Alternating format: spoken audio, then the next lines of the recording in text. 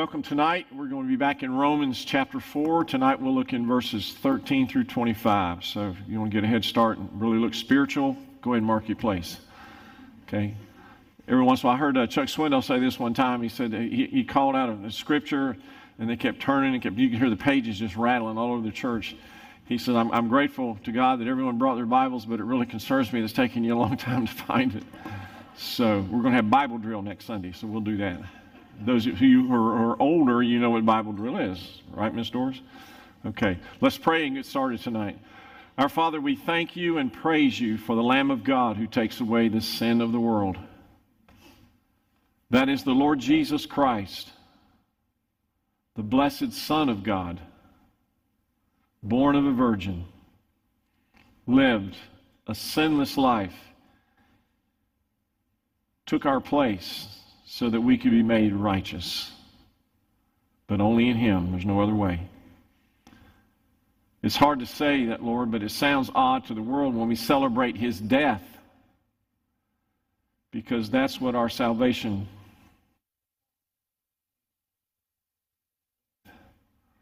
So, Father, we ask tonight that as we remember his death, we also remember his resurrection. And that's the perfect picture of salvation. We were dead in our trespasses and sin, but Jesus has given us life through faith by grace. Oh God, we thank you. We give you praise and honor tonight. Help us again as we study in your powerful word. May it find its way into the depths of our souls to encourage us, to give us confidence in these days. In Jesus' name. About a lot Amen. of things, but bottom line is is that Abraham's trust is not in what he possessed, but in what he was promised. What he was promised. And the title of this message, and I, I failed to mention today because I got I, I started chasing that truth, but is simply this Abraham allowed God to be God had nothing to do about him serving, had nothing to do that God was, you know, some kind of eternal blessing machine and that Abraham just happened to be in the right place at the right time. No, no. He allowed God to be God in his life. And that's what I want to challenge you with tonight as we finish this text. Allow God to be God in your life. Let him be your God. Let him be God and Lord over everything that's in your life. Not just the, the problems and the big stuff that comes, but how about the everyday things? How about the things that no one else sees, but you know? Maybe something that causes you to be anxious, something fearful, something that you're doubt, doubting about, something that uh, I mentioned fearful, the fact that maybe there's, there's certain things that intimidate you and it just causes you just to be nervous about. He wants you to be uh, full of His joy that He wants to pour out on you. But yet, you know, there's always these, these things that come after us. You know, it's, it's like uh, I, I, went by one time, we had a lady in our church at Calvary years ago, uh, Carolyn Hooker. David, you remember Car- Carolyn was fun now. Uh, she had a little dog named Rudy. It was a little chihuahua, and that was the meanest dog on the face of the earth. And when Sandy would go, and, and, and Rudy liked Sandy, he didn't like me. I mean, I'm, you know, I'm, I'm a pretty nice guy, I thought. And I'd go and, and I'd always get ready to pray with Carolyn, and Carolyn, I'd hold her hands, and here he comes. He's on a chain, and he is, he is just eating me up. He's chewing on my shoe. He's trying to get me, and he had them little, you know, little chihuahua teeth. You know, they're mean little jokers. And, and so I, I just kind of reached over, and I, I got his chain, and I kind of pinned him down so he wouldn't bite me. And he's growling and fighting and everything.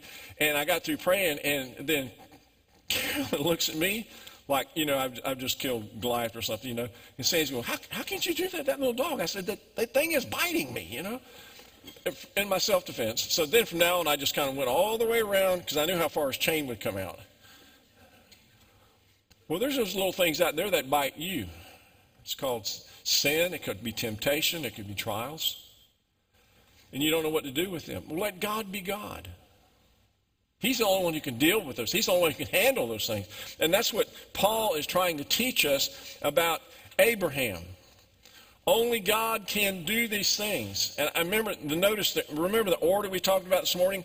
Abraham's faith. He was 75 years old when he left the Ur of the Chaldees. That's when he, he began trusting God. He left his works behind. He was a moon worshiper. He was a businessman in the Ur of the Chaldees. But here's what's interesting 24 years later, at the age of 99, that's when he was circumcised.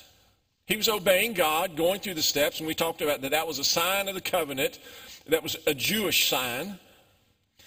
Then the law wasn't given until 430 years after Abraham believed. Moses came 430 years later, and he, he brought the, the Ten Commandments, the book of Leviticus, all of that, 430 years later. The point of that is, is that Abraham was trusting God from age 75, and then, you know, 25 years later, then he comes and he's circumcised. He's just obeying God, and then 430 years later comes the law. So Abraham was not saved because he kept the law. He was not saved because he was circumcised. No, he was saved before then. He was just trusting God. Look back again in verse 12 of Romans 4. Abraham, the father of circumcision, to those who not only are of the circumcision, now that's Jew, the Jews, circumcision, but also, but who also walk in the steps of faith which our father Abraham had while he was still uncircumcised. The point that he's trying to prove here, and we've talked about this now, and you say, well, why do you keep saying? Because I, I want you to get it. Because the next time that you share your testimony, you hear somebody talking about their faith in Christ, you need to be aware of that they say, well, you know, well, I'm going to heaven because I earned it, or I'm working for it, or because I've done this, God is going to accept me. No, no, no, no, no. And you say, well, David, that's, that's going to be offensive. No, that's going to be telling the truth. If you tell them they're okay and they're safe just because they, they have done something, that's not what the Bible says. Abraham, I mean, he's the father of our faith. I mean, he taught us how to be saved by taking God at his word. It's not what he possessed, it's not what he did, it's what God gave him in promises. So we looked at the steps. Go back to Genesis 12 just for a moment. We're going to run over this real quick. Genesis 12, verses 1, 2, and 3. Here's God's initial calling Abraham to salvation and justification. And remember, God's doing all of this labor, all this work. Now, the Lord said to Abram, Get out of your country, from your people, and from your father's house to a land that, there's seven of these, I will show you. I will make you a great nation. I will bless you and make your name great, and you shall be a blessing. I will bless those who bless you. I will curse him who curses you and in all the families of the earth you shall be blessed. Verse 7 The Lord appeared to Abram and said, To your descendants I will give this land. And there he built an altar to the Lord. That's what he did after God gave him the seven promises. Here's the steps of faith Abram, I will do these seven things. And then Abraham, out of just being blessed and grateful and thankful, he built an altar and he worshiped God. We went to Ephesians 1, talks about how that you heard the word of truth, in whom also, after having believed, you were sealed with the Holy Spirit of promise. We went to Hebrews 11:8, and it's by faith Abraham obeyed when after he was called, after the commandments were announced, not before. He didn't do anything until God called him to himself. The Bible says in John 6:44 that the Father draws us to him. You cannot be saved unless God draws you. It's God's invitation. Same thing with Abraham. Faith is simply obedience to what God tells you to do. That's faith. But notice that it comes after we act on God's promise. We act upon God's word. Now, tonight, down to verse 13, back over in Romans 4. Abraham was justified by God's grace through faith. Justified. God's doing this. God's doing the not only the saving and the justifying, God is doing everything, not just for Abraham, but for us also. Grace gives and faith receives. Look in verse 13. For the promise that he would be the heir of the world was not to Abraham or to his seed through the law, but through the righteousness of faith. For if those, verse 14, if those who are of the law, now that's the Jews, are heirs, faith is made void and the promise made of no effect. In other words, all you have to do is be born Jewish and you're okay? No. Paul says, no. Now, understand who he's talking to, but you also have to understand who he is. Paul was a Pharisee of the Pharisees. He knew the Old Testament law backwards and forwards. And what happened to Paul after he was saved? Galatians tells us in chapter 1 that he spent three years in the desert alone with God. And they weren't building sandcastles. God was taking all of the Old Testament law and he was helping Saul to understand that now it's all about grace and it's all about Jesus whom he met on the road to Damascus. And now that's what God says, I will save you if you come to Christ because Christ is the only one who could fulfill the law. He's the only one who could keep all of the law, more than the Ten Commandments. Only Jesus was the one who can do it. So when we say, well, all have sinned and fallen short except Jesus. That's why God accepted him as the sacrifice for our sin. See? Verse 14, for if those who are of the law, that's Jews, are heirs, then faith is made void and the promise made of no effect. Watch 15. Because the law brings about wrath. Look back, if you would, chapter 3, verse 20 of Romans.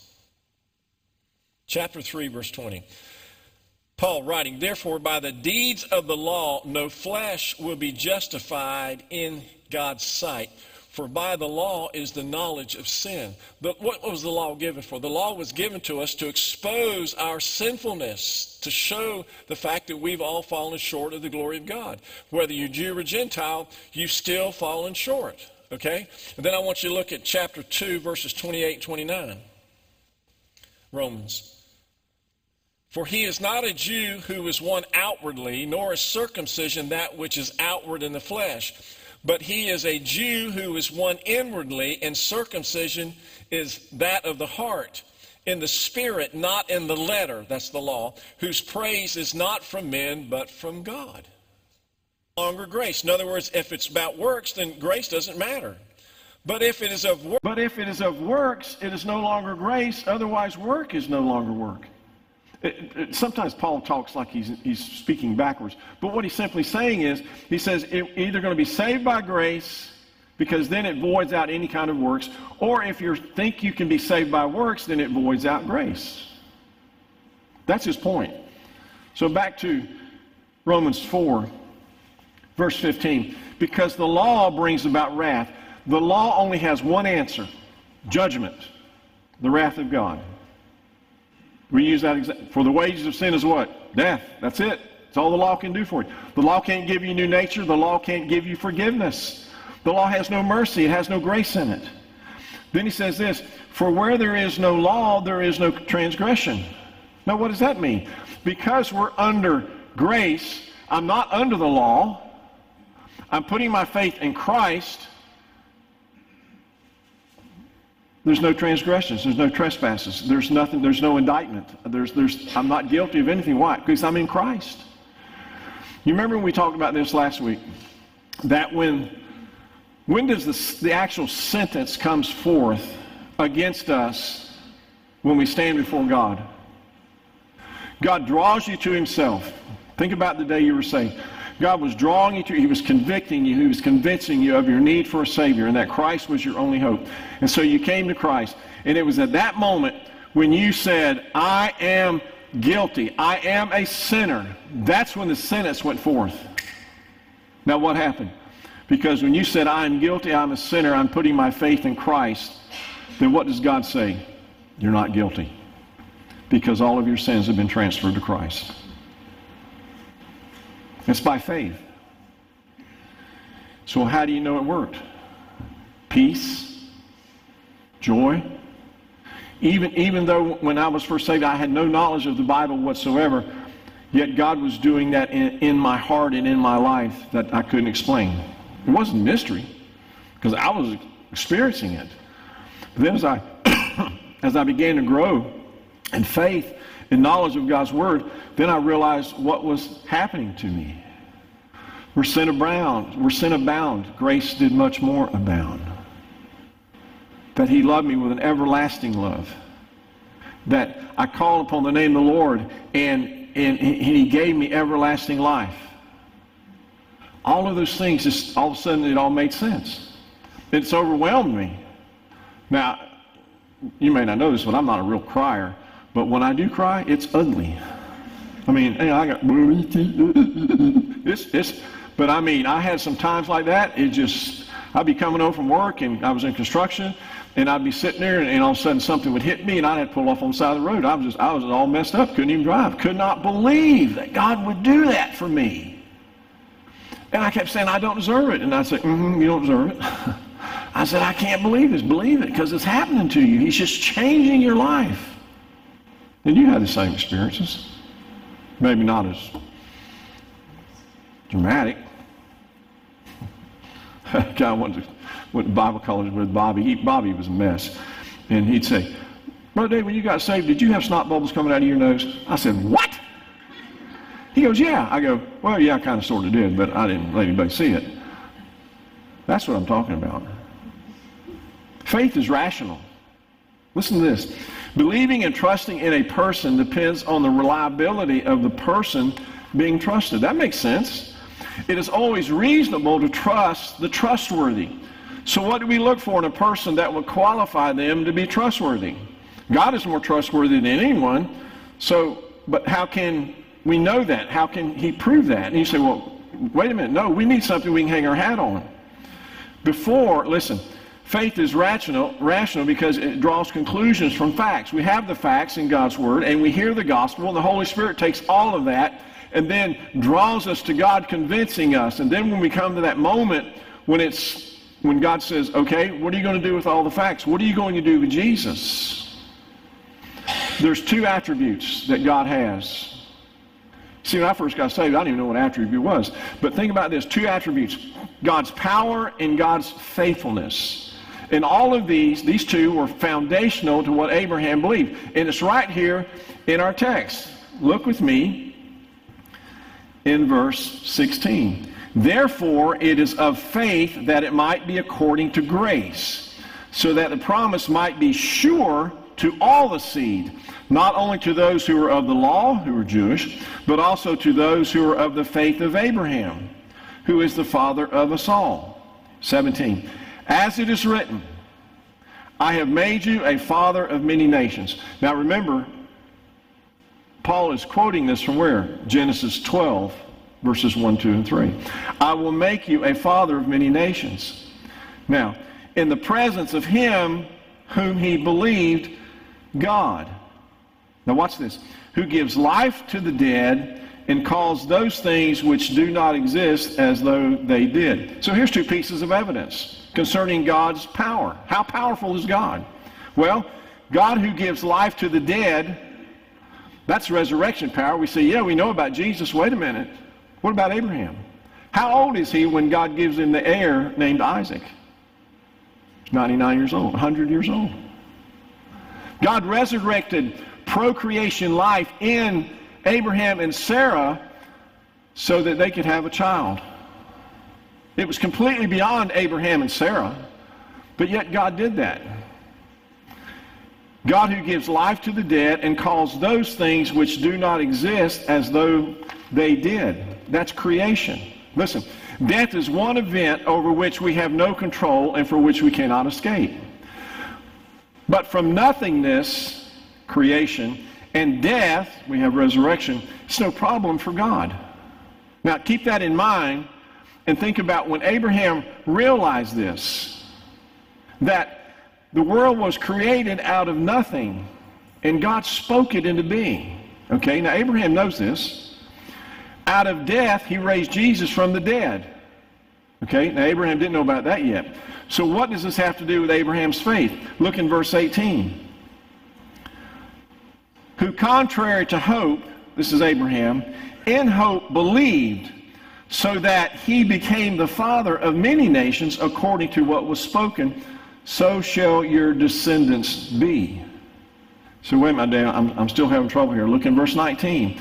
And Abraham not being weak in faith, he did not consider his own body already dead, since he was about 100 years old, and the deadness of Sarah's womb. He was 100 years old and she was 90. That's all in Genesis 17. Yet out of this double death, Abraham and Sarah, God brought life. At the same time, we see creation and resurrection. He created Isaac. Only God can do that. Only God can make babies. All right, you say, no, male and female. Only God can make babies. But had to be a resurrection involved. You see the power of God? But you see what happens is we we become so accustomed to it. You know, well, you know, have babies and uh, no, no, no, no, no, no, no, no, no. Go back to Psalm 139 and read that real careful. He knew me in the lower parts before I was brought to pass. This is the God that Abraham believed in. This same faith carried over to Mount Moriah with Isaac. Turn to Hebrews 11. Hebrews 11, look in verse 17. Hebrews 11, 17. By faith, Abraham, when he was tested, offered up Isaac. And he who had received the promises, God's power, creation, and resurrection, he who had received the promises offered up his only begotten Son. Verse 18, of whom it was said, In Isaac your seed shall be called. Verse 19, concluding that God was able to raise him up even from the dead, from which he also received him in a figurative sense. That's why Abraham did not blink when he had Isaac on that on that on the on the wood and he was getting raising the knife and he's getting ready to take his life. Remember the question, Father, where is the lamb? God will provide himself with the lamb. And as Abraham raises that knife up, and this was the heir that God had promised Abraham, and yet God, listen, it, it's not what he possessed. What did he possess? He possessed Isaac. Isaac was his son, his chosen son, and yet he was still counting on the promise of God, not on what he possessed. The promise of God was over, more powerful, more faithful, over the, what he possessed, and so he was going to take that, and God stopped him and said, Stop. Now I know your heart. But Abraham was going to take the life of Isaac, throw away all the ethicals. He was going to take the life because he believed, because if this child, this child was the promised child, that God would resurrect him if Abraham took his life. Fast forward 2,000 years. Jesus suffered and died on the cross. Isaiah 53, he shed all his blood. He gave up his soul. And yet, the world at that time in the first century said, It's over. Satan said, I've got him.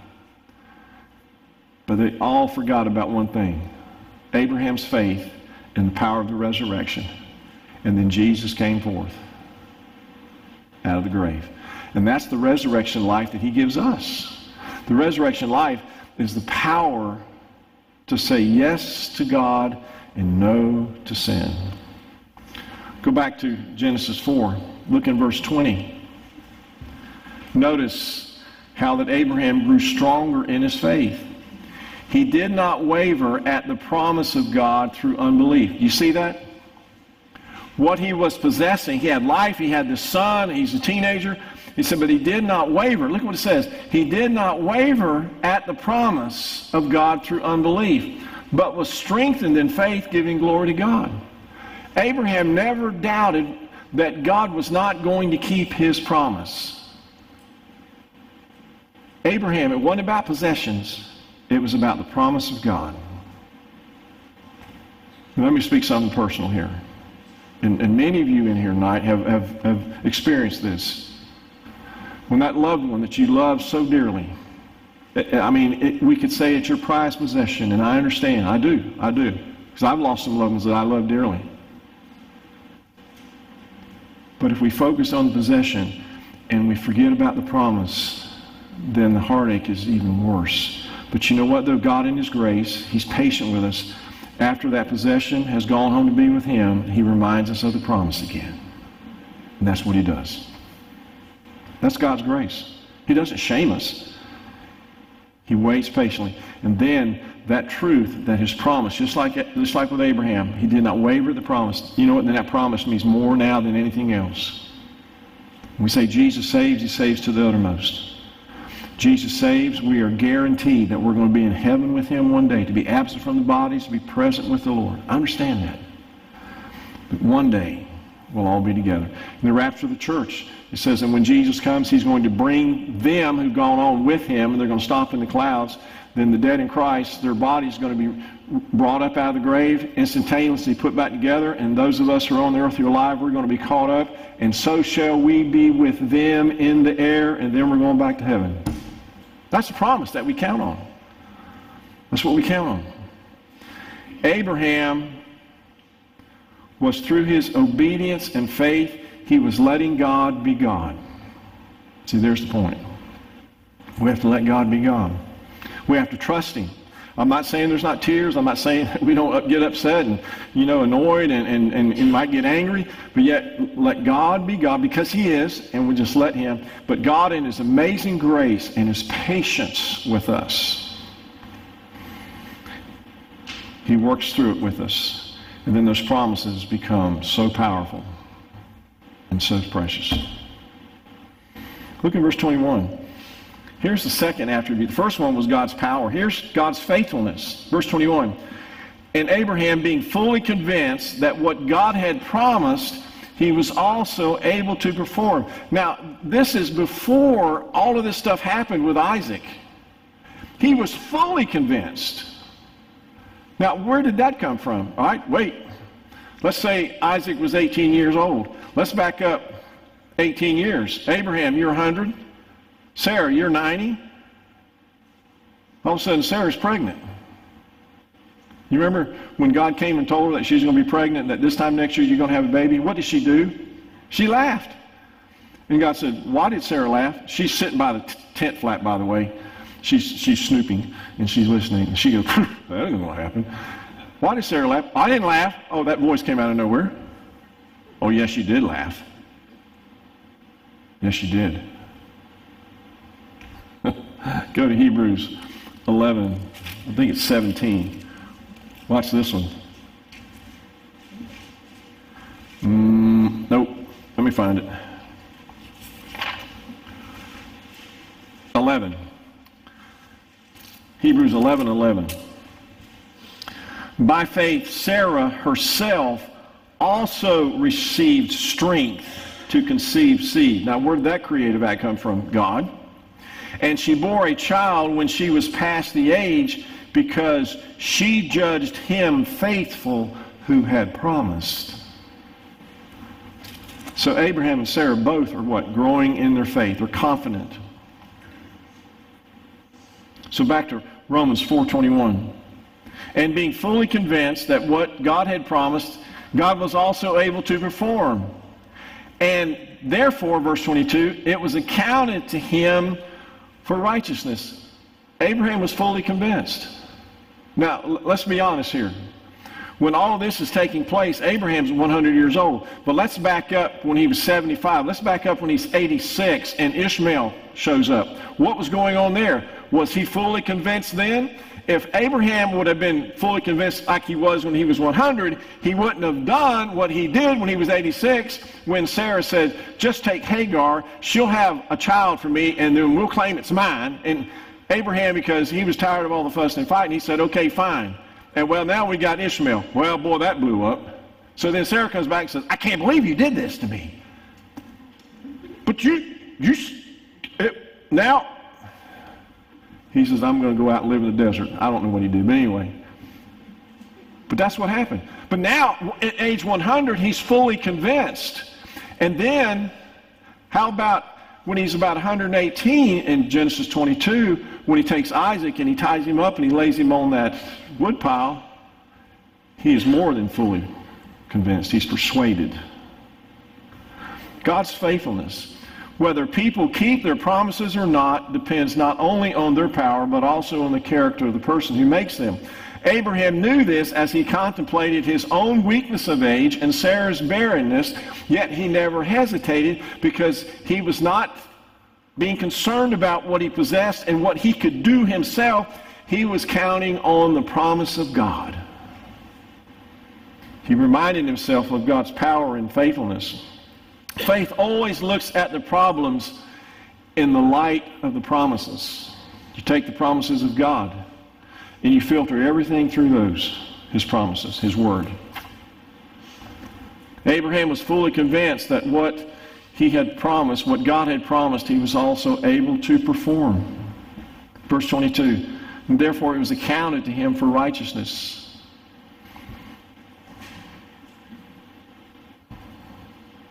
That's the results. So let's close. Look at this. Here's the lessons.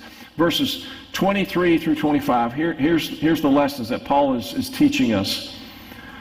Verse 23. Now, it was not written for his sake alone, Abraham, that it was imputed to him, but also for us it shall be imputed to us who believe in him who raised up Jesus our Lord from the dead, who was delivered up because of our offenses, that means we're sinners, and was raised because of our justification. So the same God who credited faith to Abraham as righteous will credit righteousness to us if we also believe in him who raised Jesus from the dead and who was delivered for our offenses and he was raised again for our justification. You, can you call to mind what 2 Corinthians 5.17 is all about? We, we quote it all the time. 2 Corinthians 5.17. Therefore, if anyone is in Christ, he is a new what? There it is power to change, a new creation. Same thing happened with Abraham. Abraham's trust in God, his faith in God to make him righteous, was not in what he personally possessed, but it's what was promised to him from God. Abraham was justified because he believed God's promise. Now, these are the basics. It is vital that we understand that it was not his Abraham's faith that saved him. Now, listen carefully. See, this is where we can get it was not it was not Abraham's faith that saved. Abraham's faith that saved, but it was the promise of God that saved him. Now, is there a difference? Yes, listen. The difference is in whether a person attempts to save himself. That's my faith. This is all mine. This is what I'm doing, which we cannot do. Or is God's salvation being understood and appreciated for what it truly is? It's a promise, it's a gift. Go back to Romans 4 4. Now, to him who works, the wages are not counted as grace, but as a debt. So, if we're working our way to heaven, God owes us a debt. Okay? And you know what the wages of sin is the debt paid is death. But it's as grace. God saves us by grace. Again, go to Ephesians 2, and we'll pray. You know this verse, we quote it, but let's read 8, 9, and 10. Ephesians 2, 8, 9, and 10. For by grace you have been saved through faith, and that not of yourselves. It is the gift of God, not of works, lest any man or anyone should boast. For we are his workmanship, created in Christ Jesus for good works, which God prepared beforehand that we should walk in them. And what did he do with Abraham in Genesis 12, 1, 2, and 3, and down in verse 7? God says, Here are the steps of faith. I will do this for you, and you walk in them. I will give, I will do, I will do, I will do, I will do, and I will, then you walk. And after Abraham received the promise of God, he obeyed. What did he do? He left the Ur of the Chaldees and he started walking with God. Look in verse 10 again. Ephesians 2. For we are his workmanship. His. Created in Christ Jesus for good works, which God hath prepared beforehand that we should what? Walk in them. Walk implies obedience. And obedience implies trust. Just trusting God. Let God be God. It's not our possessions, it's the promises of God. Let that be the filter of everything in our life. No matter what our circumstances are, no matter where we are, no matter what we've done in the past, today, we stand on His promises. We stand on his promises. I'm a child of the king. Is that because you say so? No, because he said so. I'm a child of the king. He adopted me. And he has some strange children. Amen? Let's pray. Father God, we thank you for Jesus. And as we continue to march through the book of Romans, we understand more and more what we have in Jesus. And oh, Father, may it become more and more precious to us each time we meet. In Jesus' name I pray. Amen. Barry's going to come, and I'm going to ask you to stand. And if I can encourage you in any way, I'll be here at the front. Let's stand together. Barry.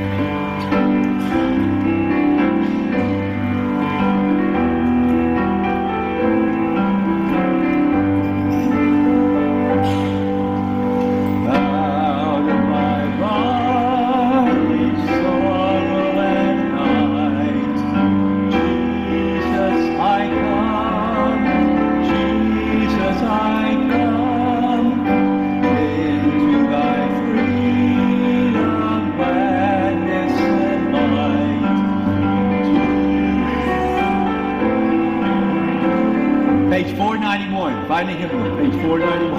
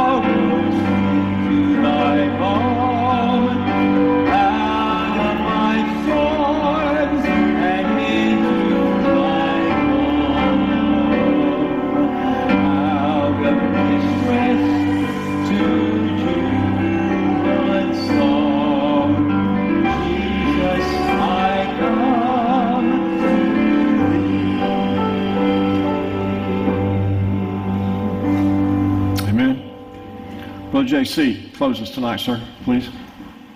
Gracious Father, we thank you for this day and the opportunity we had to come here, Lord, and hear your word preached. Thank you, Lord, for your word and what it tells us, Lord. In your presence is fullness of joy, and concentrating on you is what keeps us there. Lord, we're, we're born again, we're yours, we'll be there, but Lord, that daily in and out fellowship with you we need in the worst kind of way. Because, Lord, it says, when we stand in your presence, we're filled with that joy that only comes from you. Holy Spirit, this week you come and you keep us in the right path of walking with you. You come, Lord, with great conviction and show us those areas in our life where we tend to stray and get out of fellowship with you. Holy Spirit, you'll keep us in the light. You'll keep us walking in the Spirit. And therein, Lord, lies our secret, and maybe for you. Lord, we thank you for loving us. Lord, we thank you for saving us. Lord, we thank you for Jesus and the difference he makes in our life. For it's in his name I pray. Amen.